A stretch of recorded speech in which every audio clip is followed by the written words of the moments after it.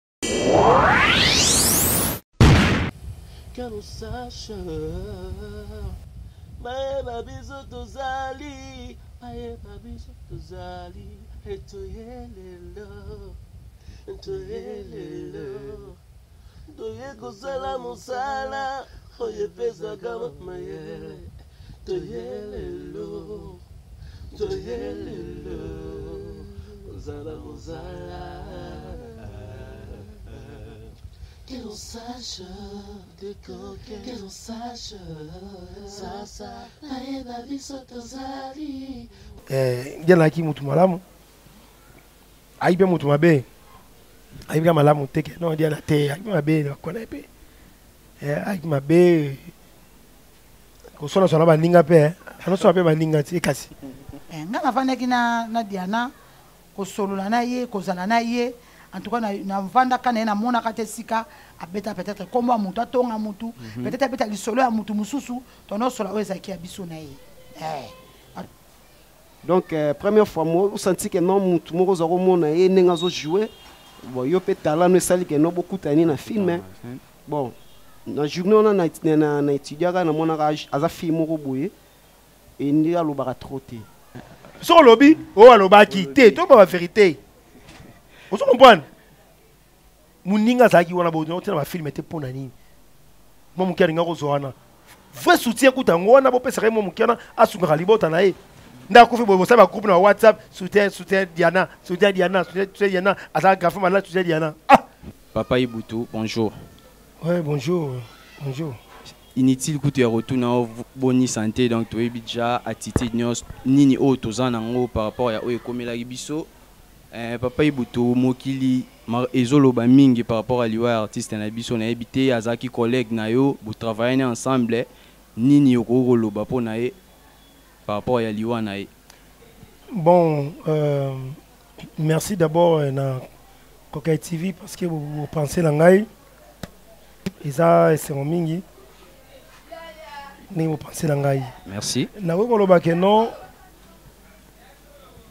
liwa ya ndeko na ngai Diana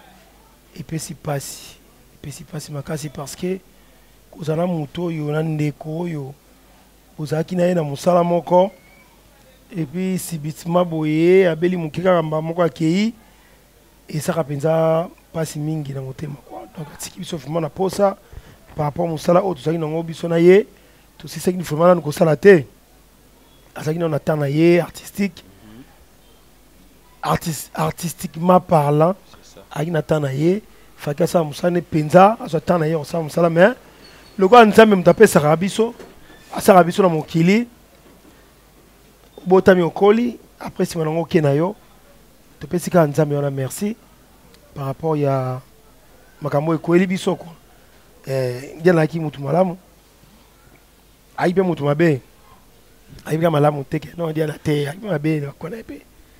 eh, ayi mpe mabe koswana swana baninga mpe eh. anoswana mpe baninga ti kasi koswana baninga banini so aye bozalaki mwa fier trop ah na bakwe na ye ben oui aki fier trop na kwe na ye soki aye avandi avimbani bon alingi apesa aponi bilongi oyo apesa mbote oh. so apesi oyo apesi so apesi mpe te apesi mpe te mais lokola akufi bon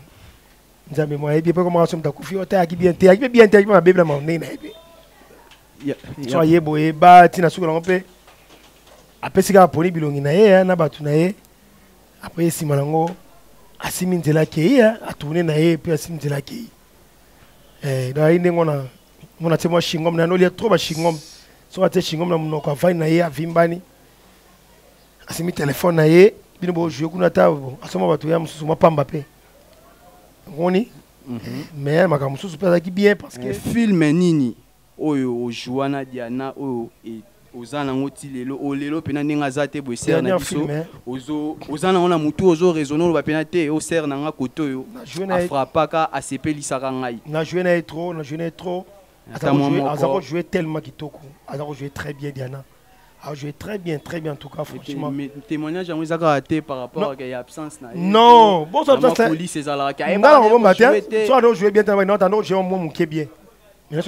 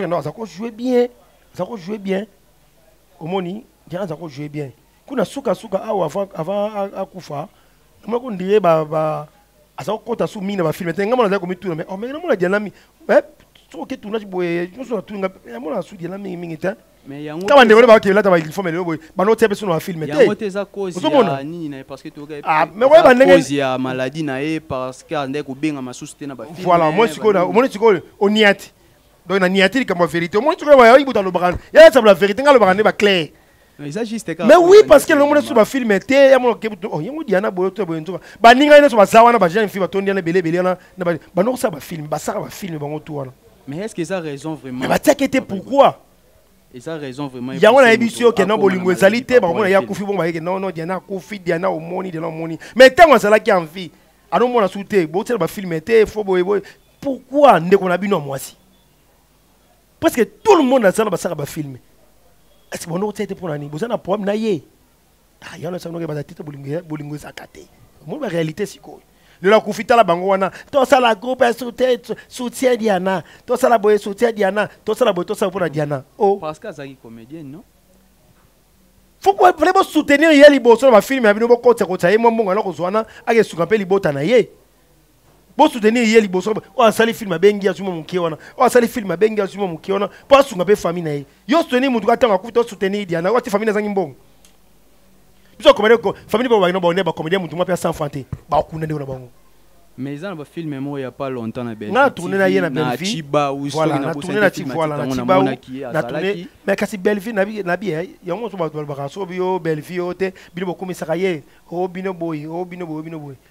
ba réalité yango tozo loba bolingo ya azaka nango Bellevue Kandi azaka nango c'est pas tout le monde azaka nango so olobi oyo alobaki te to ba vérité ozo comprendre moninga azalaki wana botina bafilme te mpo na nini mwa moke alinga kozwa wana vrai soutien kuta yango wana bopesaka ye mwa moke wana asungaka libota na ye nde akufi boye bosala bagroupe na whatsapp soutien soutien diana soutien diana soutien diana azalaka grafe malade soutien diana ah bolingo eza te boza moto abela mpo soutenir ye merci merci quoi. merci merci papa ibutu merci merci te tika longa merci nayebi ke tokosala émission moko oyo koloba vraiment nayebi ke ebele akoloba eza mais temps ezo permettre biso te balingana maloba na ngai asuka ntango songo loba loba na suka c'est pas un problème d'accord maloba na ngai asuka ezali ke non baza théâtre bazala na bolingo natemaka eloko wana balingani te basi na basi bato ah? baya bolingo te ba bolingo te basi na basi baza balingani te kotonga na kisongisongi kisongisongi bango na bango bamikolo balingi babi mabala mike basangisa bana mike na bamikolo bakoma age moko bamikolo balingi bazonga bana mike bamikolo balingi bana mike wana baevolue te Papa Ibutu, nayebi te moins deux ou trois personnes oyo balingaka oyo okoki kopesa mbote soki bazali rapidement. Napesi mbote na bato nyonso balingaka ngai bandeko na ngai ya basi na mibali bafanatiki na ngai Interstate de Jibalman masta na ngai apartir ya États-Unis Interstate de Jibalman masta na ngai apartir ya États-Unis napesi yo mbote yo na famille na mobimba mama ni mama mama na ngai eh, mama Elino Umenga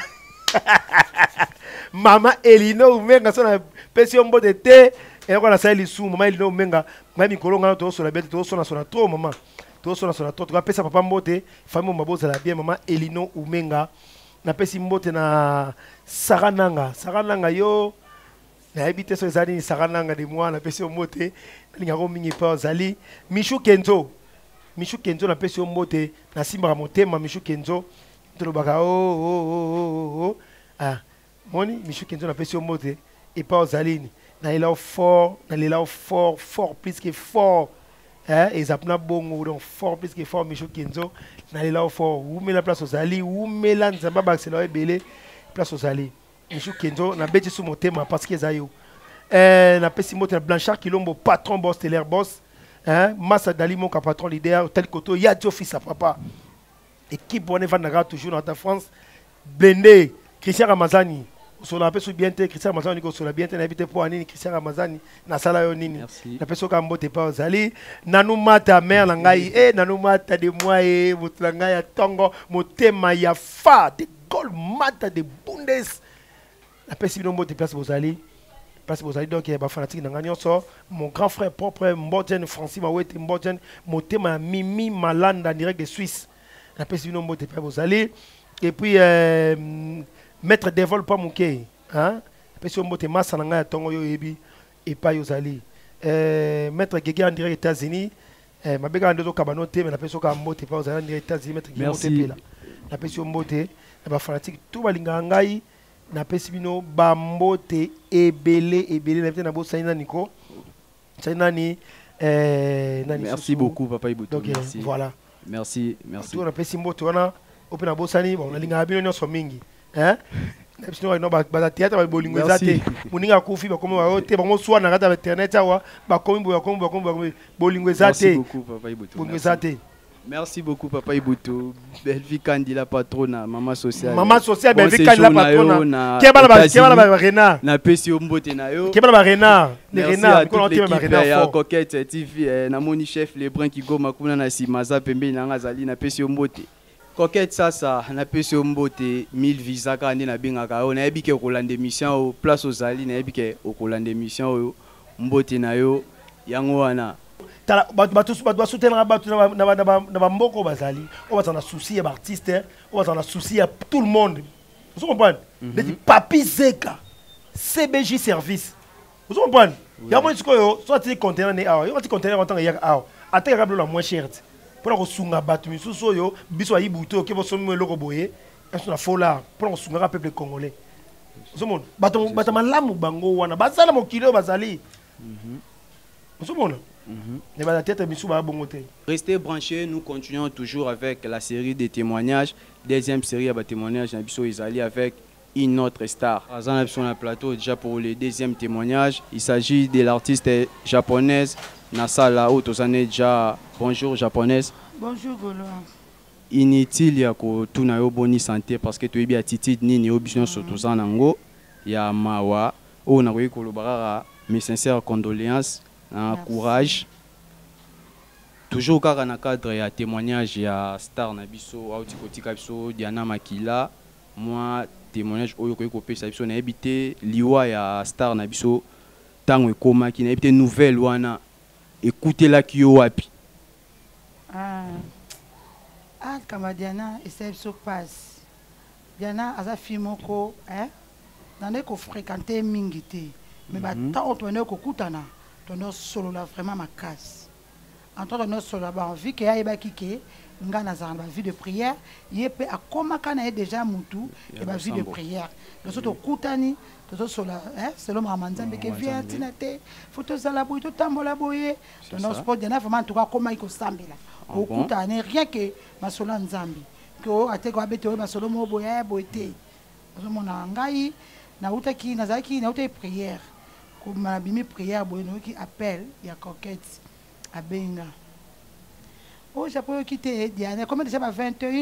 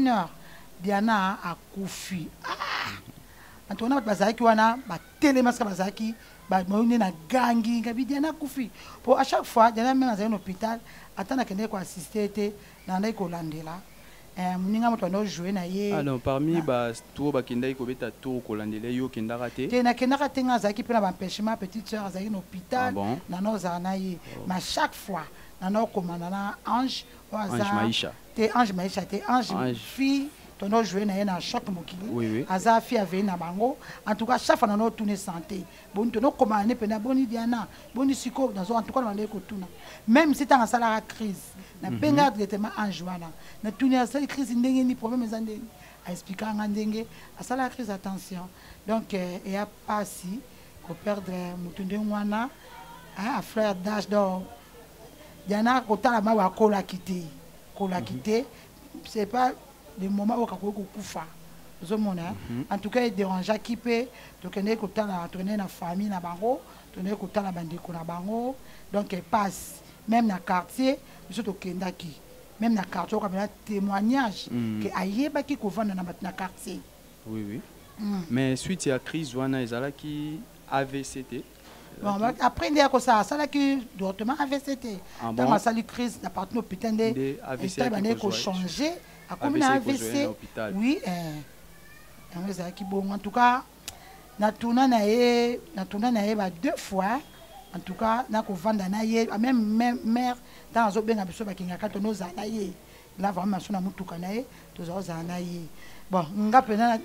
eya te soki moto akufi nde oloba kaka bolamu na ye so azalaki a mutu akosanga badefaut te mpo moto aparfait aza te papa ibutu mpe alekaki alobi oyo akoki koloba par rapport ya ah. témoignage na ye donc il, est, il était vraiment clair eh, ngai nafandaki na, na diana kosolola na ye kozala na ye en tout cas na, na vanda kana na mona kate sika abeta peut-être kombo ya mutu atonga mutu mm -hmm. peut-être abeta lisolo ya mutu mususu tono sola oyo ezalaki ya biso na ye eh ata sanga vie na ye vie eza boye fo kotambola boye moni mokili tala ah masolo ya bongo mais na mabe moko en tout cas na mona na ngango te nakoloba te mpo akufi nde namoni motu malamu peut-être azalaki na berere na ye badefaut na ye peut-être kote mosusu mais mpa na nga nde na nda osola na tuka namonaka ye na mabe te au moins mpe bapesa ekombo dana la, la douce en tout cas azalaki fille moko très douce omoni ekoloba ne kaka ndenge ajouaka kaka vine normal ndenge azalaka alobaka ne malembe aloba ne masusu avandi avandi na ye ka boye bozosolola en tout cas dérange na olinge mingi diana mpena na bandaki meme tobandaki kokangana te tobandaki kosolola ngo diana azalaka mwa malamu en tout cas na bandaki kolinga ye nandaki kolinga ye mpe apesanga mpenza mpe gout ya kotya barouge ya lèvre ya rouge ah bon? eh.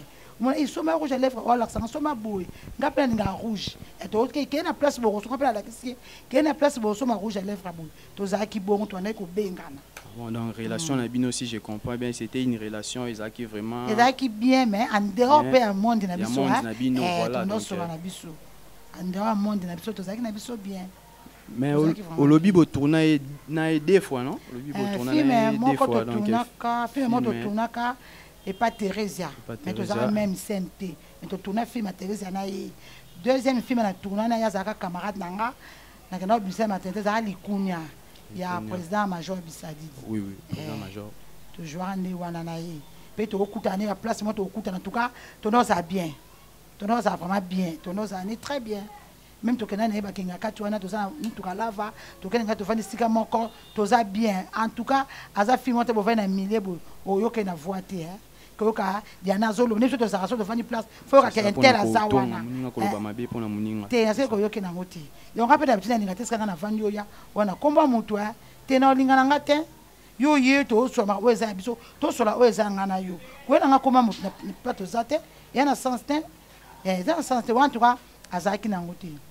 Mais sinon yo moko pe place matanga ezali chaque butu ba comediens bazo sanganaka epa major bisadidi kuna na bosobolo nanu pe na moni yo te nayebi te ozo yaka ou tozo monana te to ozo yaka nde te nayaka peut-être heure nga nayaka yo okeyi en tout cas nazalaka na nga wana bon Ah, nazala te vraiment. tala kaka surtout par rapport ya batémoignage opesi ya moninga na yo soki ezalaki oyaki te na ngai mpe na ngai namona yango vraiment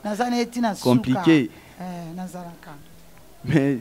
mais nakotuna mwa motuna moke par rapport ya liwa na ye ndenge ebimisi makambo ebele kote oyo na gauche likambo motu boye likambo boye bacomédien balinganaka te ke boye ezongi boye nayebi te makambo wana nyonso eza di ya koa nayebi te ah papa na oloba nini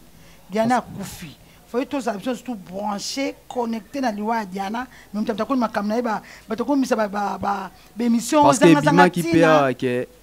moko ya raison ya avc na ye oyo asalaki eza parce que abengamaka susu te na bafilme baninga babwakisa ye na batournage abengamaka susu te nayebi te eza vraiment raison estce moto akokufa bongo nga moni na vandi awa estce eza bato mosusu babengaka bafilme na bango point na osala attention te eza raison te diana aza artiste ya kala tourna na bapa baproducteur ya minene ecee osala kaka crise oyo babenge na tournage te eya na sens te combien na ngai ozwa oyo elingi osusa mpasi na ye ke azwaki yango ntaki esala crise oyo eza raison te yaya eya maladi eyaki na nzoto ya motu eyaki eya raison te akufa mpo na yango te okoloba nini par rapport ya bafan nyonso oyo bandeki kolanda diana nayebi te okoloba nini par rapport ya en tout cas naosenga kaka merci na bafani na biso bafani nyonso ya diana nde bosoutenir biso bozobenga kotuna baprogramme en tout cas nzambe apambola bino elo mpe nakoyebisa na bafani nyonso ya diana to bafani na biso nyonso na oyo nyonso bozoki ezolekaleka en tout cas bokotana na biloko wana te tokunda diana na kimia diana azalaki mwana nzambe ma ebembe ya mwana nzambe elelamaka na bonzambe en tout cas babi nyonso bafiti nyonso ezoleka obola oh, émission eleki émission esali boye en tout cas bolanda te tokunda diana na kimia nyonso merci na bino en tout cas bo continuer ko soutenir oyo mpe ayebi ke aza fani ya diana alingaka diana diana atiki bana okoyoza na mwa eloko oleki bandeko ya diana bazali adresse na ezali oleki osungi osungi bana wana yo moko obengi ndeko ya diana opesi mpo na bana wana ezala malamu mingi mpo tokoyosa badepense ebele ebele tosomba boye tosabe tokuni diana après bana oyo ya mwasi bana baza na bakotanga classe bakozwa mwa mbongo wana mpe oza rentrée scolaire mama bango mpe asungaka bango mama aza te po oyebika ko soutenir Diana en tout cas luka ndeko ya Diana oyo atikali lokola maman po soutenir bana wana ba classe na bango makambo na bango ata na moment oyo po ezala malamu yango kaka nalingi naloba yango wana. Merci beaucoup na batu nionso bazolanda biso tozo continuer toujours na serie de temoignages nous avons notre troisième invité ou une troisième personne soki tokoki koloba il s'agit de chef Lebrun Kigoma toza ne Jean ya plateau chef Lebrun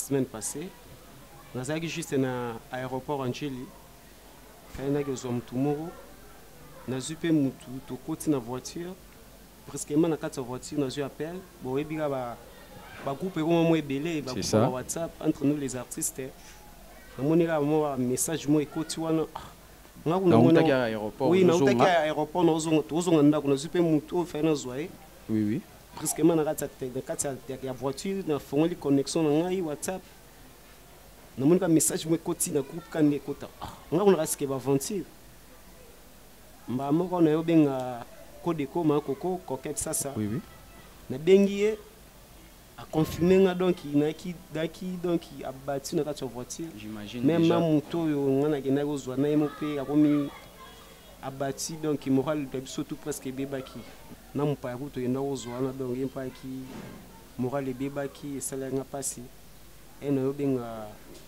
coquette sasa a confirmer nga mais a confirmer que non Diana atiki biso donc esala nga vraiment bien te jusqu'à maintenant pe morale yaka bien te j'imagine déjà mais mm. est-ce que bino mibale déjà nayebi te on se retrouva déjà dans une même scène naye ou dans un même tournage bino mibale si si si si bon premièrement nanu euh, faut tolobaka verite omoni ba diana baza ba actrice moko boye franchement nga ere na toroke nchik diana atalaki na ba cd ere na vide nchik naye kosala naye pratique art dramatique na nga nazwaka chance ya komona ye boye première film yango ezaka amour assassin amour assassin écrit par marcos marcos ouais donc euh, première fois mo osanti ke no motu moko oza komona ye ndenge azo joue bon yo mpe talent no esali ke no bokutani na film ah, hein. bon na journée wana na, na, na, na étudiaka namonaka aza fille moko boye e nde alobaka trop te parce que na tournage wana nde tozalaki donc ye azalaki trop trop bon azali na problème motu te mais nde nazalaka étudie donc ayaka place na ye azosolola du e mo telefone na ye donc voilà Eh, donc eh, première film tomona ne yango wana epuis deuxième film nde nabosani nabosani titre eh, parce que ça baane déjà eleki donc eh, kofréquente mabwa ndeor a art vraiment que non ah. tozokutana kaka trois mois dans deux films nalobi wana donc voilà hmm, ya batournage ah bon dans relation ezalaki un peu vraiment makasi te te non non non non kaka na scène kaka nde olobi hmm. mais sinon so bokutani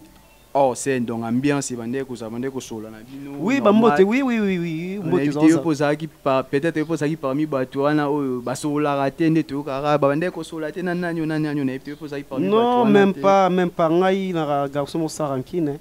moto oyo emoni ke no ngai nasolola na ye te tv eza nango awa batv eza ebele bachaine ebele aleka aloba donc ngai nananaka nkina motu te donc nazalaka nkina ona nini to olelo mbongo te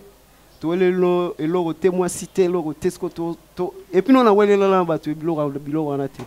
donc nga garçon moko sympa donc nanga humble naosevante te me naoloba oyo nga mona miyebi donc voilà alors euh, par rapport ya bamakambo oyo ezobima ke mm. aba, dans suite dans raison ya, ya maladie na ye soki tokoki koloba ya avc na ye eza parce que abandaki kobengama te na batournage lisusu nayebi te yango epusaki ye ememi eti na maladie wana nayebi te est ce que c'est ah. c'est vraiment une raison valable bon, de ma part moi je ne pense pas ekozala bongo parce que diana diana akositukela filme te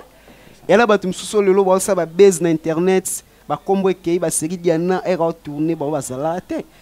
je ne pense pas que diana ndenge aza na kokufa mpo babenge na filme te eza lokuta de ma part c'est faux bon eza na oyo asante omoni biso nde twaka boye totambolaka dela bamaladi na biso na nzoto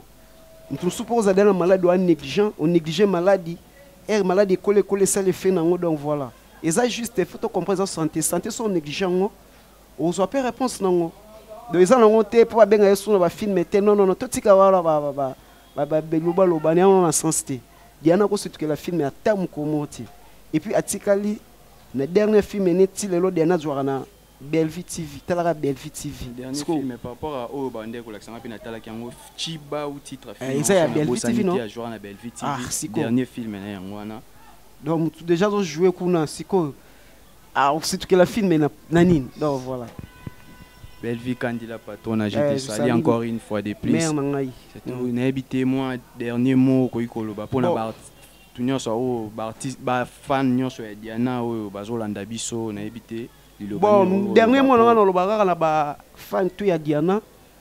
bo soutenir kaka même ndenge azalaki vivante ndenge azalaki na hôpital bozo soutenir lelo atiki biso to soutenir ti corps na ye jour ekobima toke tokundi ye bolemba te surtout na vie na ngai pichu lingo père de la charité na kati ya france ve soutenir Actrice na yo Diana à travers na nga oyo okopesa nga yango mpe kosala ke no mwa contribution papa Roger Dimbo ya Marceline Kigoma mama na Oracle na Precie na kati ya France Tiffany Bolamba ya Tresor Muzungu bo soutenir quelque chose oyo boko soutenir ngai mutu na bino mwana na bino leki na bino ekosala ke no nga mpe na contribuer donc eza kaka ndenge ezalaka donc voilà.